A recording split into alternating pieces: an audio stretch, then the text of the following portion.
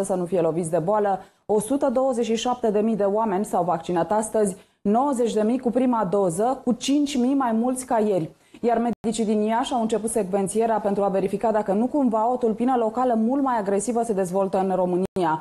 Președintele Claus Iohannis și patriarhul Daniel au ieșit și ei cu mesaje de mobilizare pentru vaccinare, în condițiile în care și astăzi am avut peste 15.000 de noi infectări și 446 de decese. Am invitat experții în această seară să vedem cum scăpăm vii din focarul lumii de COVID România. Bună seara tuturor! Să vă prezint invitații, doamna Ioana Stâncel, expert în sănătate publică. Bună seara, doamna, bine Bună seara, vă mulțumesc pentru invitație. Radu Lupescu, de la Strasburg, în legătură directă cu noi. Bună seara, domnule doctor, expert în anestezie și terapie intensivă, decorat de președintele Emmanuel Macron pentru contribuția domniei sale în lupta cu pandemia, decorat la Paris. Îl salut și pe domnul Daniel Funeriu, fost ministru al educației, pentru că vom discuta și ce se întâmplă uh, cu școlile. Urmează două săptămâni de vacanță forțată, să spunem așa. Sunt 480 de copii la terapie intensivă. Situația este extrem de gravă. Haideți să vedem ce s-a întâmplat astăzi, pentru că în capitală este în desfășurare un maraton de vaccinare. Uh, trei zile și trei nopți românii se pot vaccina. Astăzi în București 40.000 de oameni au fost să se vaccineze. Vă spuneam de teama restricțiilor. Iată că funcționează uh, această presiune pusă pe oamenii nehotărâți și nu doar în România funcționează, peste tot în Austria nevaccinații sunt amenințați cu carantina dacă se va pune prea multă presiune pe terapie intensivă. Să vedem ce s-a întâmplat astăzi la maraton. Imaginile surprinse de dronă arată coada de zeci de mașini creată în apropierea unui centru de vaccinare drive-thru. Plujenii s-au așezat la rând pentru a primi doza cu serul care să-i protejeze împotriva COVID. Centrul drive-thru a fost amenajat într-o parcare în care s-a amplasat un cort. Șoferii au trebuit să aștepte la două cozi paralele. Teama de restricții și de infectare a determinat românii să se îndrepte spre centrele de vaccinare din toată țara.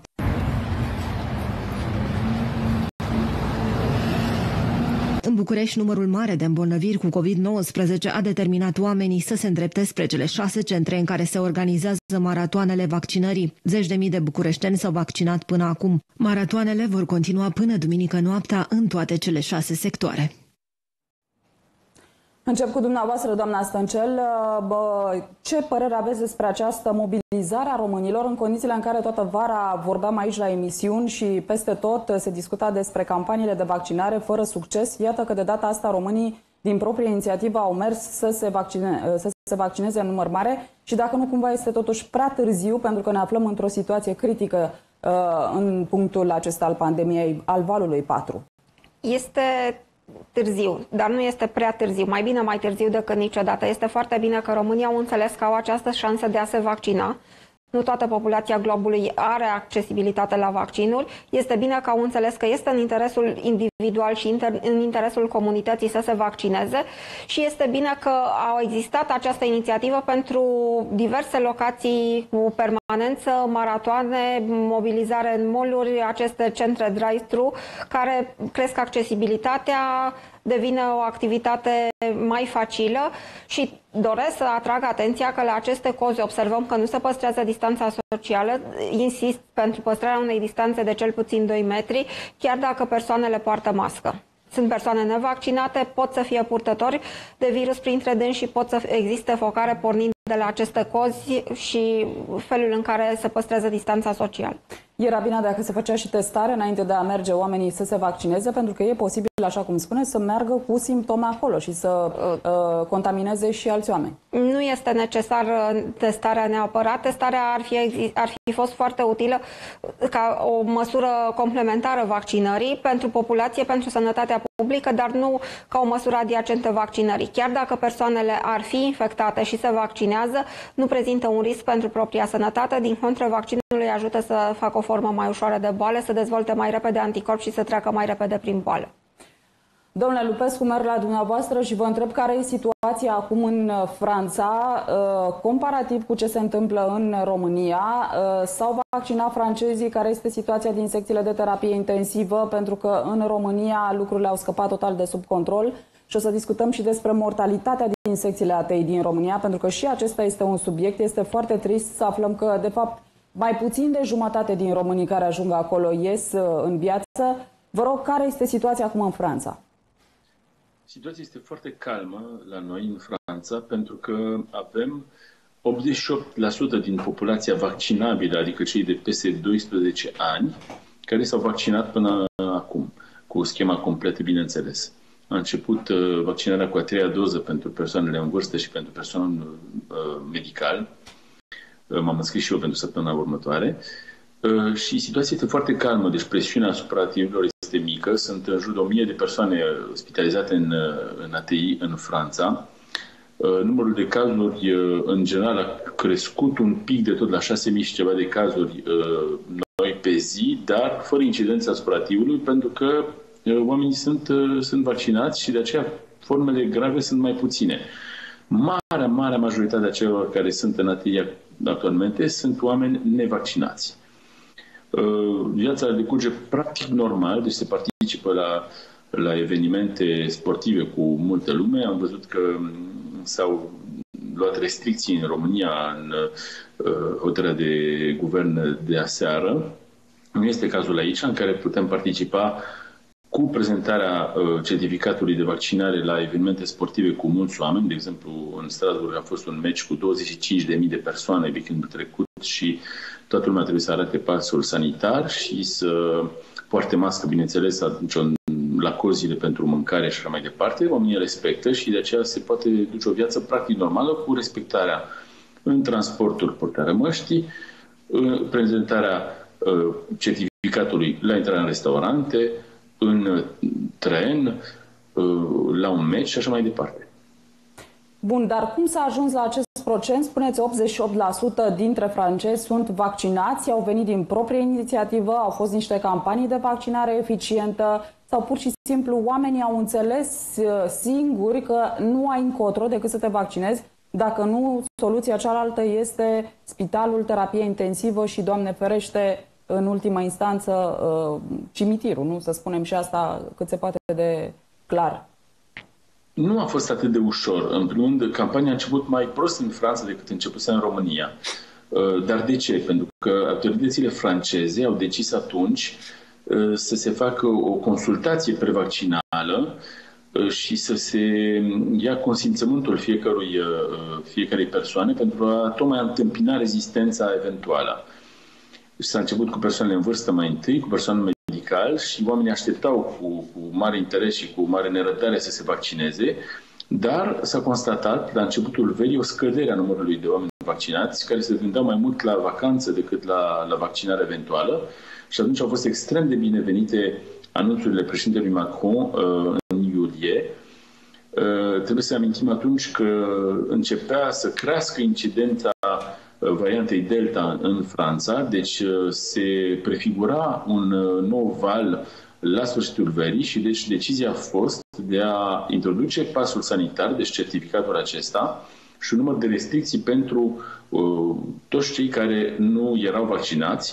Și asta a, a dat un boost campaniei vaccinare, deci s-au vaccinat foarte multe persoane în luna iulie și august pentru a ajunge acum la, la acest procentaj foarte bun de, de oameni vaccinați. Mesajele cine, cine le-a transmis, domnule Lupescu? Politicienii sau și medicii au fost scoși în față? E o, și o problemă de credibilitate, pentru că în România, să spunem și asta, oamenii nu prea au încredere în autorități, iar atunci când politicienii ieșau să-i convingă, îi bănuiau de tot felul de, de intenții din acestea ascunse, ba că au cumpărat prea multe vaccinuri și n-au ce să facă cu ele și vor să-i vaccineze cu forța și așa mai departe. Deci în Franța au fost implicați și medici cu mare credibilitate, cum sunteți și dumneavoastră, astfel încât să-i convingeți pe oameni?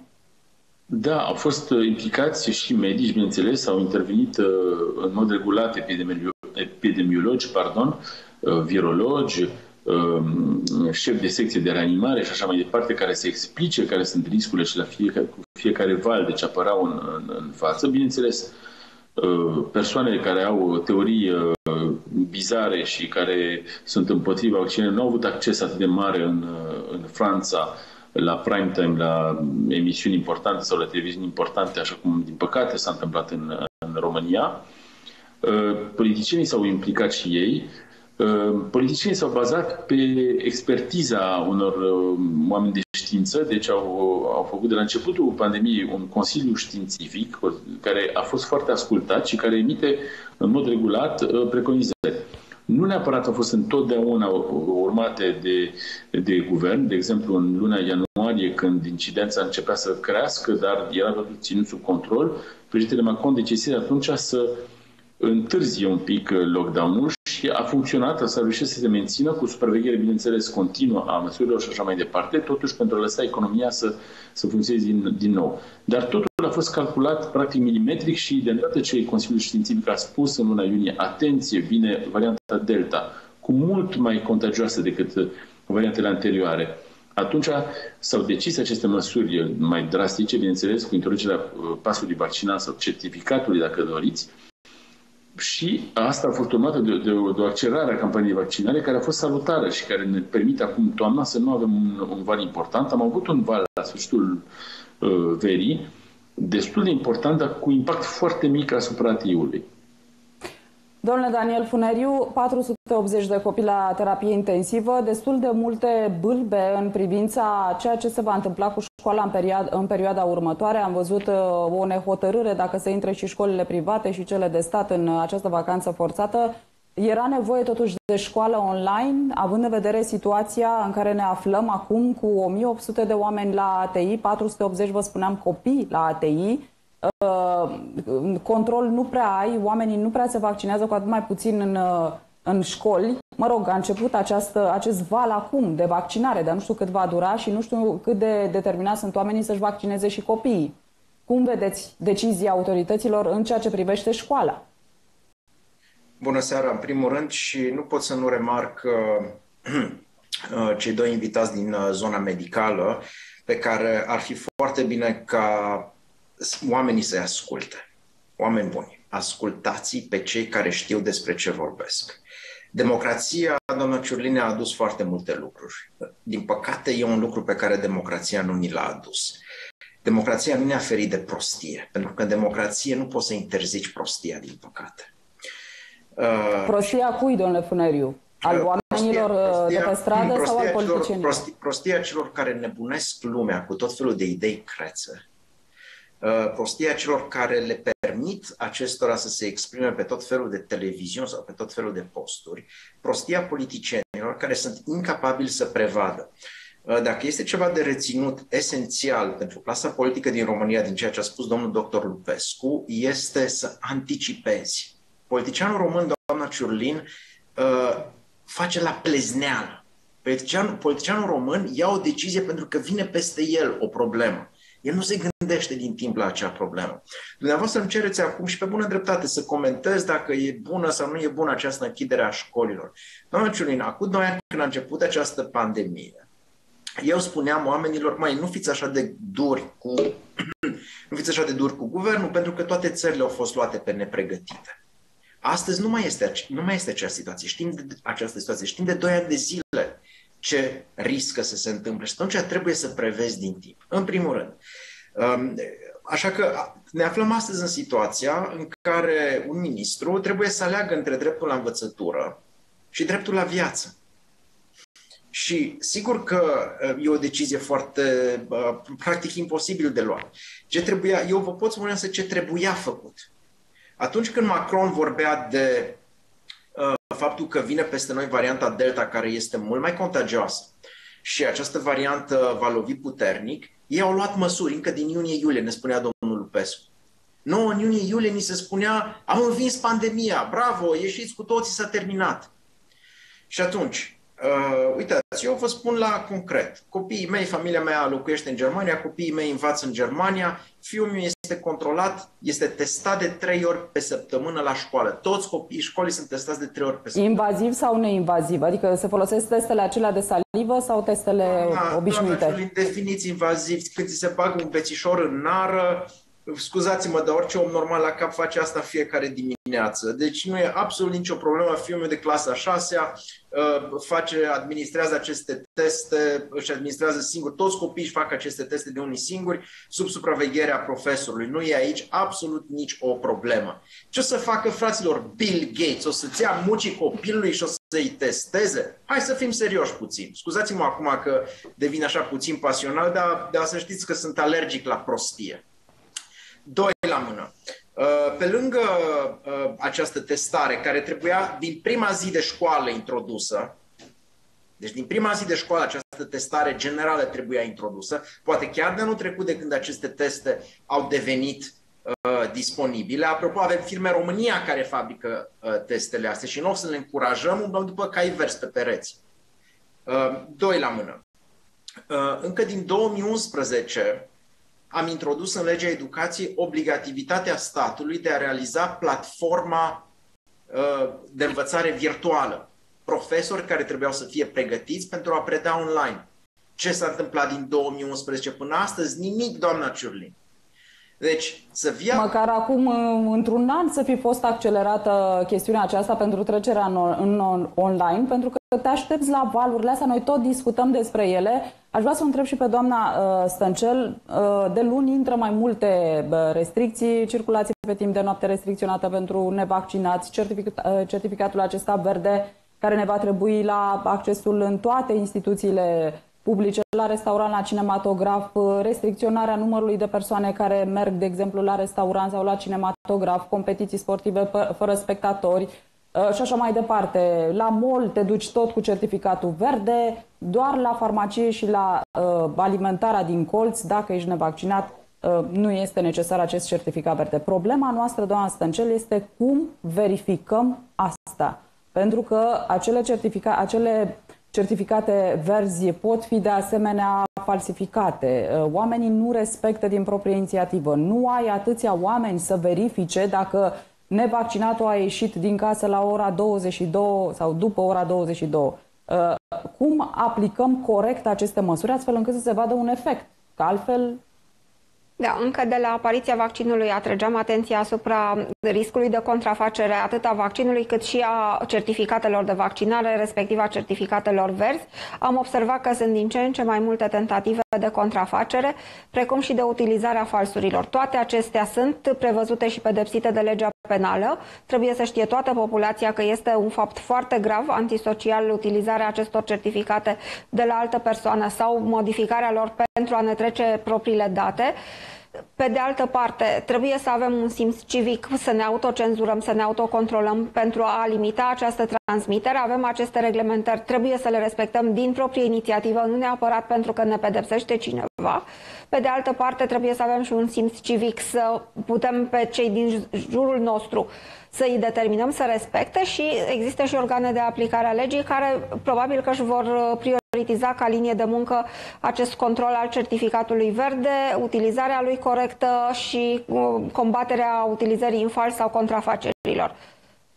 Doamne Cred Lupescu, că poliția este pregătită să, uh, să recunoască sperăm, falsurile. Să sperăm, nu știu, s-ar putea să nu aibă atâția polițiști încât să verifice pe fiecare în parte. Domnule Lupescu, să vorbim puțin despre terapie intensivă, acolo unde dumneavoastră sunteți expert, pentru că în România se vorbește foarte mult despre terapie intensivă. Combatem pandemia la terapie intensivă, să facem cât mai multe paturi. Am adus experți din Danemarca să ne învețe cum să facem mai multe paturi la terapie intensivă pe actuala infrastructură, cu riscul, iată, de a izbucni tot felul de incendii, cu riscul de a rămâne în, pa- în pană de oxigen la terapie intensivă și de a muri oameni, cum s-a întâmplat ieri la Târgu Cărbunești. Explicați-ne dumneavoastră cum trebuie procedat corect în aceste secții care sunt atât și atât de periculoase dacă nu le exploatezi așa cum trebuie. Da, păi ATI, secțiile de ATI sunt nodul problemei, pentru că nu pot să fie extinse la infinit și sunt uh, uh pacienți în stare foarte gravă, uh, sunt care necesită, bineînțeles, îngrijire specială, care nu ies imediat din ATI, deci în general stau două, trei, patru săptămâni în ATI, deci vedeți că locurile nu se liberează, din păcate, foarte ușor. Și deci acesta este nodul sistemului unde, unde se face, să spunem, îmbulzeala cea mai mare. Uh, un pad de ATI înseamnă, într-adevăr, un, un, un pat într-un spital, într-un local adaptat, cu o aparatură specială, mai ales un ventilator de, de reanimare sau chiar de anestezie, dacă nu se poate altfel, dar înseamnă și personalul adecvat care se poate ocupa de pacienți. Deci înseamnă asistente pregătite, înseamnă medici pregătiți, care sunt sau rezidenți pe anestezie, pe ATI sau specializați pe, pe reanimare. Și asta este cel mai greu, de fapt. Deci lipsește la ora actuală în țară foarte mult personalul uh, calificat care se poate ocupa de, de, de pacienți. Deci nu este totul să găsim aparate și să găsim locuri unde să facem aceste secții și așa cum ați spus și infrastructura trebuie să permită așa ceva. Deci este, sunt nevoi enorm de mari de oxigen. Uh, bineînțeles, din punere electrică trebuie să fie totul la normă, dacă nu riscăm incendii și așa, așa cum ați spus. Deci sunt lucruri complicate și de aceea trebuie um, lucrat în amont de fapt. Adică nu trebuie să așteptăm ca oamenii să intre în, în, în secțiile de ATI și nu trebuie să așteptăm să fie pline secțiile de ATI pentru a reacționa. Ar trebui făcute, în Franța... altele noi sau se, pot, se mai pot băga două, trei paturi? Cu ce riscuri? Am văzut, de exemplu, acele incendii. Ele sunt determinate doar de infrastructură sau și de exploatarea necorespunzătoare, pentru că dumneavoastră ne spuneți un lucru extrem de important. Nu sunt experți acolo, nu sunt medici specializați în, în terapie intensivă, nu sunt asistenți. Poate sunt luați uh, rezidenți sau poate sunt luați oameni de pe alte secții care habar nu au cu ce se mănâncă toată aparatura respectivă și care pot chiar ei declanșa tot felul de evenimente din acestea asta, nefericite. Asta este problema. Suntem siguri astăzi că nu avem rezidenți de anestezie în România care ar putea să vină să, să ajute medici extenuați din secțiile COVID existente. Suntem siguri că nu avem asistente care au lucrat pe bloc operator și care au ajutat anesteziștii timp de, de ani de zile, care sunt poate în spitale care nu au COVID și în care nu se mai operează sau se operează foarte puțin și care ar putea să fie formate rapid uh, pentru, acest, pentru a îngriji acest pacienți COVID. În definitiv, un pacient COVID se prezintă în marea majoritate a cazului cu o deficiență a unui singur organ, adică plămânii. Sunt și cazuri în care necesită uh, tehnici speciale de, dia, de dializă, ECMO, adică oxigen extracorporal și așa mai departe. Dar majoritatea lor au o problemă cu schimbul de oxigen și trebuie intubați, trebuie puși pe, pe un ventilator de, de reanimare sau de anestezie și așa mai departe. Deci, în definitiv, să luăm persoanele care sunt încă disponibile în spitale, care nu au COVID, pot fi formate rapid în secții de COVID și să ajute acești oameni. Asta ar fi primul, primul lucru pe care l-aș uh, preconiza. Al doilea lucru. Avem spitale private în țară care poate au ori posibilitatea de a deschide secții ATI suplimentare, ori posibilitatea de a se ocupa de toți acei pacienți care sunt în stare gravă și așteaptă o operație, nu pentru COVID, ci pentru cancere, operații urgente și așa mai departe. Statul poate face un contract cu aceste spitale pentru că acești oameni să fie operați cu decontare de la stat, fără să aibă de plătit ceva din buzunar. Bineînțeles, statul poate acoperi cheltuielile suplimentare legate de funcționarea spitalelor private, dar acești oameni trebuie operați, nu trebuie lăsați de, izbești, de izbeliște acum când este uh, pandemia. Deci în niciun caz nu e o idee deșteaptă să suspenzi operațiile, chiar și acelea non-urgente. Mai degrabă le-ai trimite, ai trimite acești pacienți în zona aceasta de privat și ai rezolvat problema și la stat taxa pe acești pacienți COVID. Nu deci înțeleg de ce nu s-au gândit sau probabil că există alte motive pentru Intervențiile care... neurgente, deci dacă vii pentru o artroscopie de genunchi sau pentru o proteză de, de șold, asta poate aștepta încă două, trei luni, nu este nicio problemă. Dar dacă ai un cancer la plămâni sau un cancer la colon, astea trebuie operate și dacă întârzi cu trei luni, pronosticul poate să fie diferit. Deci uh, se poate trezi pacientul cu complicații sau să moară. Deci este clar că acești pacienți nu pot să aștepte foarte mult. Deci acești pacienți care pot fi identificați, făcute liste cu ei și pot fi operați de către specialiștii care sunt în spitalele de stat, care pot să ducă să opereze la privat, unii dintre ei deja o fac, pentru că lucrează și la stat și la privat și ceea ce este foarte bine, pentru că va înlesni va această, această cooperare în definitiv sau poate fi operați de, de specialiști care sunt în, în privat, care vor funcționa într-un sistem un pic diferit, de contat de către stat și așa mai departe. Dar nu cred că nici acești oameni nu trebuie să lăsați să aștepte luni de zile înainte de a se relua operațiile. Pe de altă mai... parte, sunt secții... Pe de altă parte, sunt probabil că secții ATI în spitale care nu sunt folosite. Uh, am auzit, dar asta trebuie să verificați dumneavoastră, bineînțeles, că ar mai fi în unele spitale din, din București, uh, care nu sunt uh, COVID, ar mai fi patru de ATI disponibile cu personal disponibil.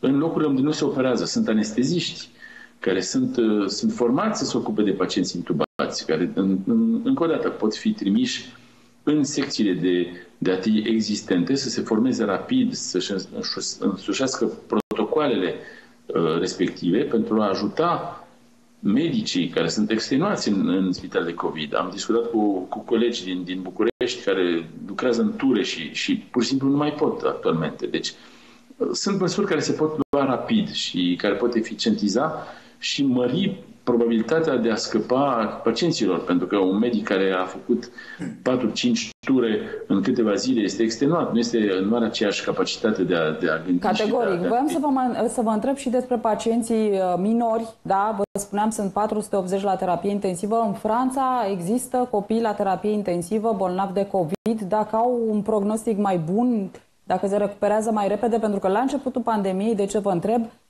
se discuta despre faptul că această, acest virus nu atacă atât de uh, puternic, nu îi atacă atât de puternic pe copii. Acum, iată, avem la terapie intensivă. Care este evoluția la terapie intensivă a unui copil?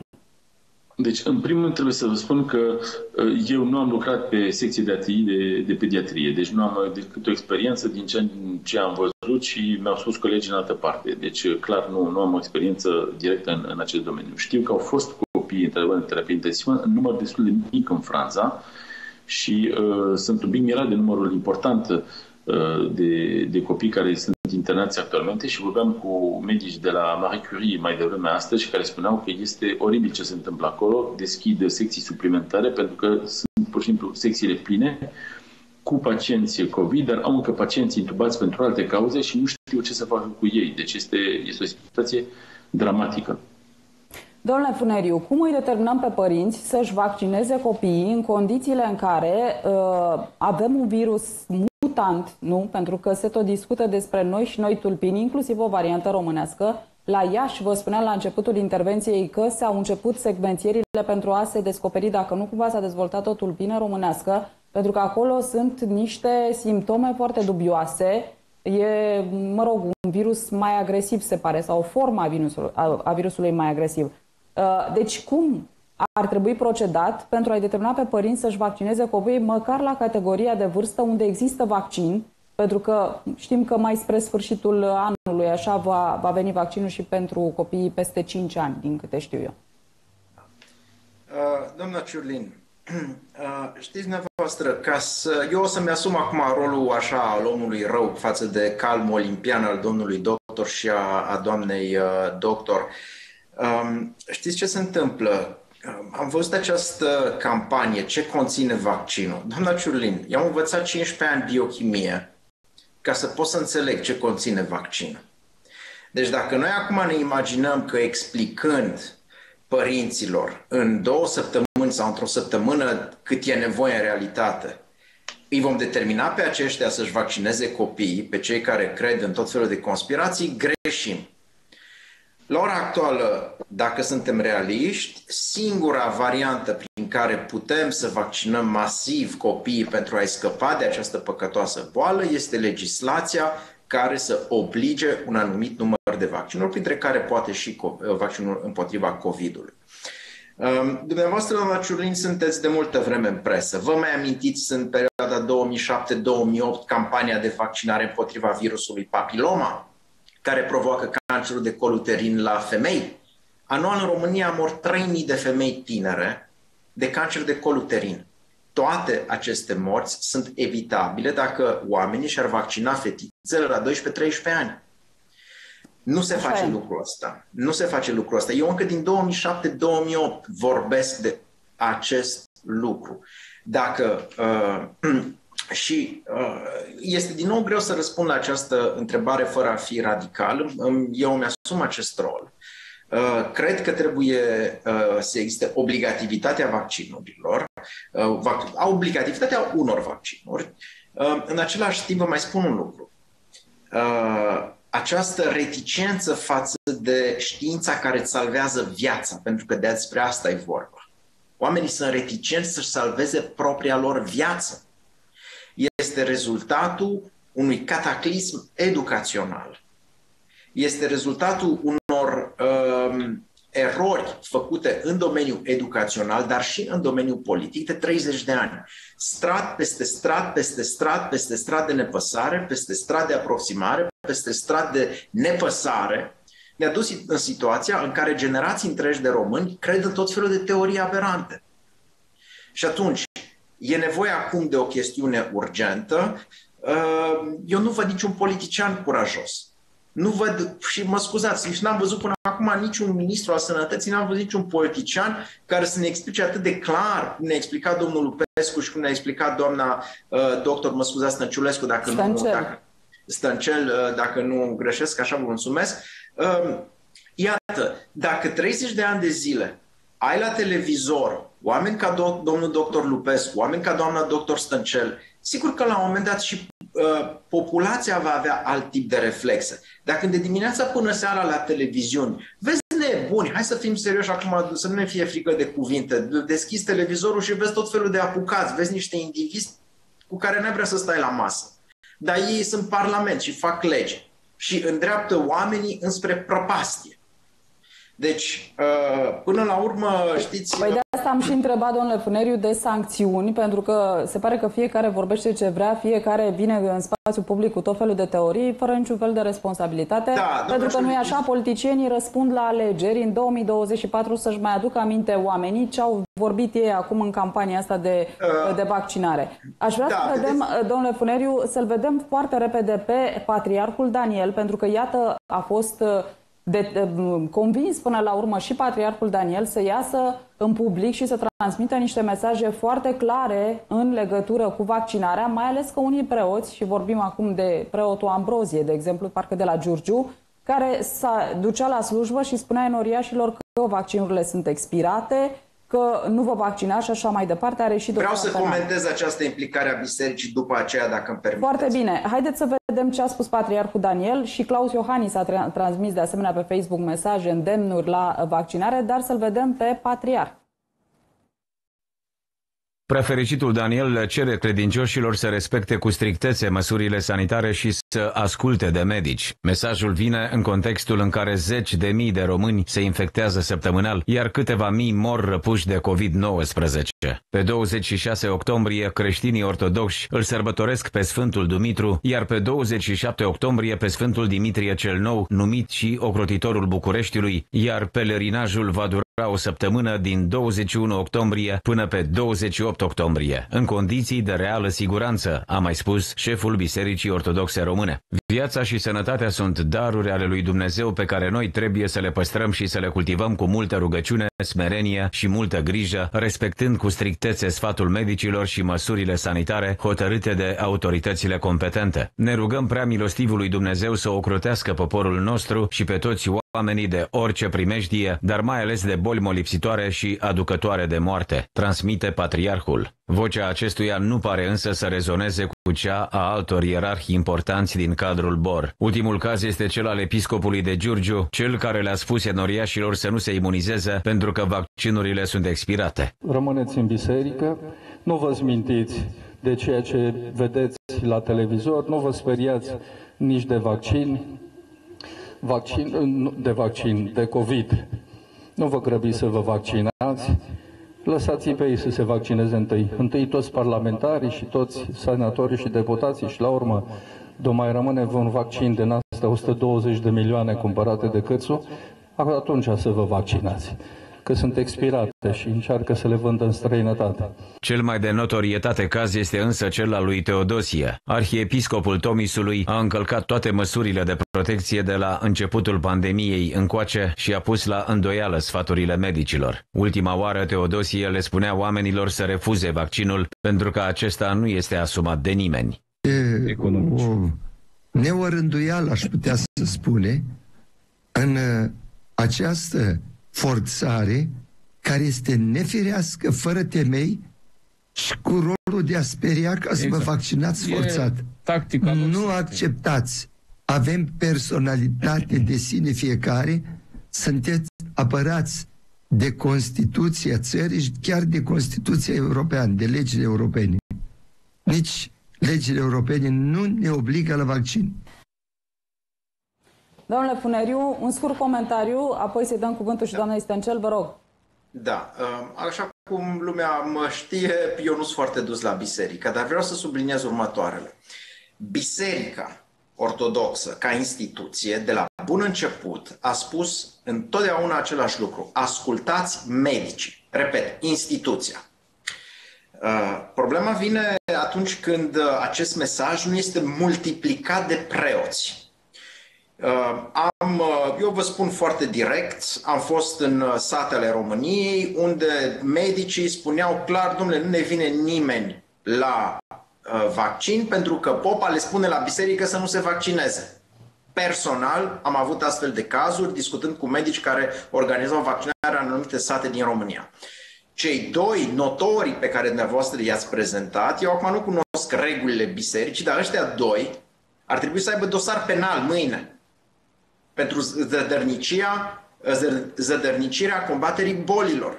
Poate să fie popă, poate să fie orice, dar atunci când tu bagi în mințile oamenilor asemenea aberații, ar trebui să te aștepte dosarul penal. Păi, Ambrozia are, are dosar penal, tocmai, tocmai Foarte bine, că... să, vedem și ce se, să vedem și ce se întâmplă cu el. Asta da, dar, asta e o, o problemă uh, Aici nu aș, vrea, nu aș vrea să trecem în cealaltă extremă, în care instituția bisericii este pusă la zid pentru că niște, nu știu cum să-i cataloghez pe cei doi și pe alții ca ei, um, vorbesc prostii. Uh, biserica a spus tot timpul, de la bun început, ascultați ce vă spun medicii. Uh, sigur că am putea spera un mesaj chiar mai puternic în acest moment din partea bisericii și aș fi primul fericit să îl aud mai puternic și mai explicit, în care se spună de oameni buni, vaccinați-vă. Păi eu Dar... cred că a fost explicit uh, mesajul transmis de Patriarhul Daniel. Oricum s-au întâmplat lucruri extrem de, mă rog, da. lucruri tragice da, s-au întâmplat și în bisericii să fie multiplicat, să fie multiplicat în fiecare predică, în fiecare biserică din România. Asta ar, așa ar trebui să se întâmple. Mă rog, patriarhul a transmis acest mesaj către preoți, acum bănuiesc că fiecare are autonomie, nu știu dacă trebuie să execute acest ordin, dar ce voiam să spun este că și Biserica Ortodoxă a fost lovită crunt de această pandemie. Astăzi a fost înmormântat arhiepiscopul Gurie, da, care a murit uh, de COVID la 52 de ani. Un om foarte mai devreme, bun, iertat, un om foarte bun. Am, am văzut mai devreme imagini de la înmormântare în Dolj, un preot și o preoteasă de 46 de ani au murit la Bine. o zi distanță de COVID, doi copii au rămas orfani. Deci oamenii trebuie să înțeleagă că nu este de glumă cu acest uh, virus. Doamna Ciulin, vă rog 30 de secunde, vă rog, mai vreau să vă spun un lucru. Uh, vreau să mă adresez credincioșilor. Oameni buni, ce rezultat divin mai important decât mintea umană puteți să vedeți astăzi? Mintea umană a făcut vaccinurile, mintea umană a făcut medicamentele care salvează milioane de oameni în fiecare an. Deci, um, uh, sacrul și, și um, tot, Tradiția. toată, toată credința voastră ar trebui să fie citită în acest mod. Aceste lucruri ne-au fost date omului nu ne-au fost date ca să ne batem joc da. de ele. Doamna Stăncel, există un pericol de contaminare uh, la slujbe, de exemplu, duminica știm că oamenii merg la biserică, nu Dacă sunt se respectă măsurile de distanțare, uh, nu există acest risc. Uh, recomand ca persoanele să nu stea foarte mult în biserică, tocmai pentru a permite mai multor persoane să participe la serviciul religios în biserică și recomand păstrarea distanței fizice, dezinfecția, purtarea măștii. Și recomand tuturor credincioșilor să știe că toate descoperirile științifice nu ar fi putut fi posibile fără voia Domnului, fi, indiferent de ce religie ținem. Și înainte de a ne uita la cei care nu pot să înțeleagă progresul științific sau care folosesc chiar și pentru propriul interes de notorietate electorală politică sau chiar bisericească această pandemie, să ne uităm la ceea ce spun poate liderii, să ne uităm la știință, să ne uităm la întâi stătătorul Bisericii Ortodoxe Române care îndeamnă oamenii să creadă în știință, să creadă în medicină, să creadă în progresul științific, în medici și dacă există preoți care nu pot să accepte acest progres științific, îi îndemn pe credincioși să se uite la prea fericitul Părinte Patriarh Daniel, care este unul dintre cei mai progresiști șefi ai unor biserici orientale. Domnule Lupescu, ne întoarcem la terapie intensivă. Domnul uh, medicul Șerban uh, Bubenec spune așa. În secțiile de terapie intensivă din țară uh, este mortalitatea este de 58-59% și fiecare medic din secțiile ATI îngrijește de 4 ori mai mulți bolnavi decât ar fi normal. Care este mortalitatea în Franța, de exemplu, sau la nivel european? De ce avem această mortalitate, această rată de mortalitate atât de crescută în terapiile intensive din România și dacă se poate face ceva imediat pentru că e vorba de salvare de vieți? Din fericire, mortalitatea a fost mai mică la noi în, în Franța.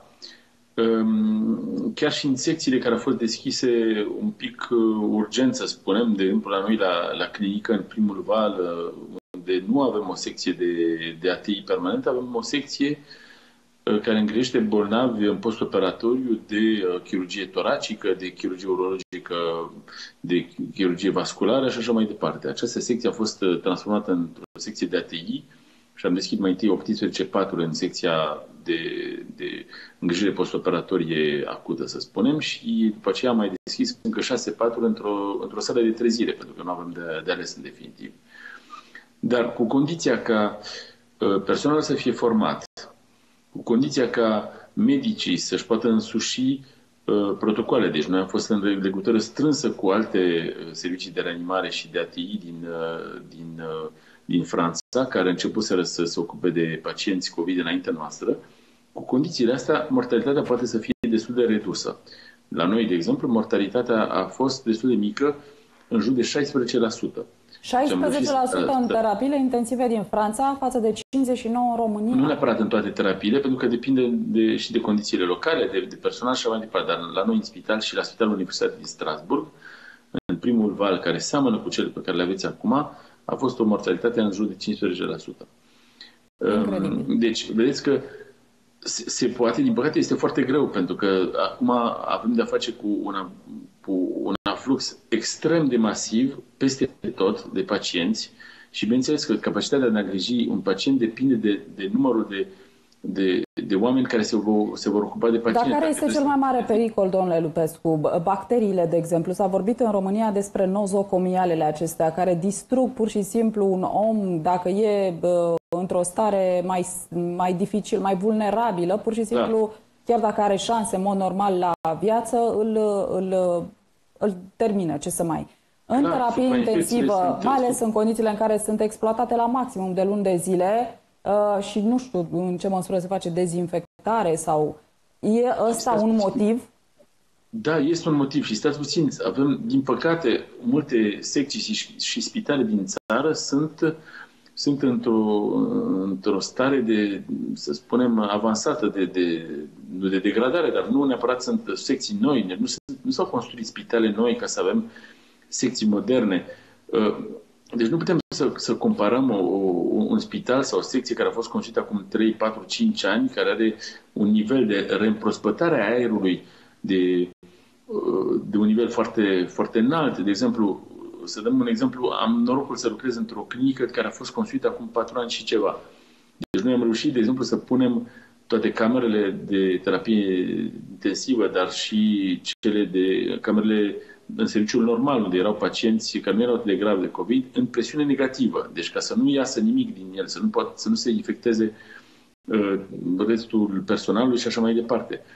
Uh, împrospătarea lui este foarte, foarte rapidă. Deci asta trebuie, din păcate, să ne dăm seama că investițiile în sistemul sanitar nu au fost făcute. Sistemul sanitar în România este subfinanțat de ani de zile și, bineînțeles, un sistem care este sub, sub presiune, uh, care, în care nu s-a investit, când este o pandemie de acest tip, este dramatic.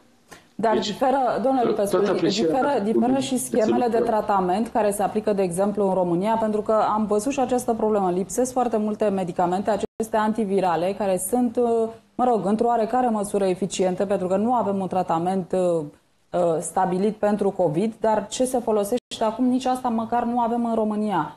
Uh, în Franța sau la dumneavoastră în clinică se folosește un, o altă schemă, un alt protocol pentru uh, tratarea pacienților de COVID? De, există această mortalitate atât de redusă de 15%? Nu, deci în primul rând uh, trebuie să ne gândim că noi am avut primul val în care nici nu aveam antivirale. Deci îi tratam pur și simplu cu asistență respiratorie, cu antibiotice în caz de suprainfecție, tratăm cu ce am avut atunci de fapt și cu... Deci majoritatea pacienților se prezentau cu o, o insuficiență respiratorie acută, cu un uh, ARDS, cum se numește în, în, la englezi.